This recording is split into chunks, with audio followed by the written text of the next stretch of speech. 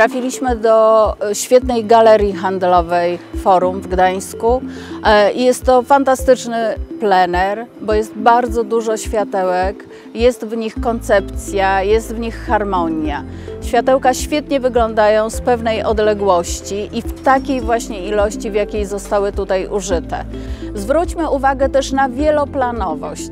E, tutaj mamy przepiękny tunel, za tym tunelem choinkę, przed tunelem może jeszcze coś się zdarzy. E, w związku z tym mamy pierwszy, drugi, trzeci plan.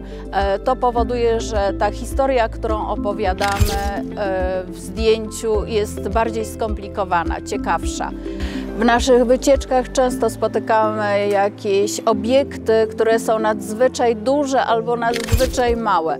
E, Wykorzystajmy wtedy sylwetki ludzi na przykład, do których jesteśmy przyzwyczajeni. Będziesz robił portret y, i ja stanę tutaj, zrobisz mi y, w tym świetle portret cudowny, bo już mam światło fajne, z tyłu choinka, ale ona już jest zupełnie innej wielkości. E, wykorzystajmy te sylwetki tak, żeby może do końca nie były czytelne, żeby były tylko zajawkowe, żeby nie ściągały uwagi.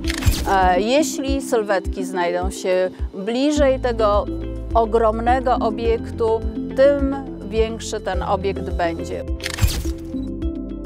Mamy tutaj troszeczkę łatwiej, bo nie ma takiej różnicy w światłach, nie ma głę- głębokich cieni, więc e, to jest ok. Mniej ok jest to, że jest bardzo dużo elementów, bardzo dużo napisów, nazw sklepów, nazw firm e, i musimy lawirować, żeby to wszystko poukładać w jakąś fajną kompozycję. Starajmy się omijać liternictwo i korzystajmy z tej fantastycznej sytuacji.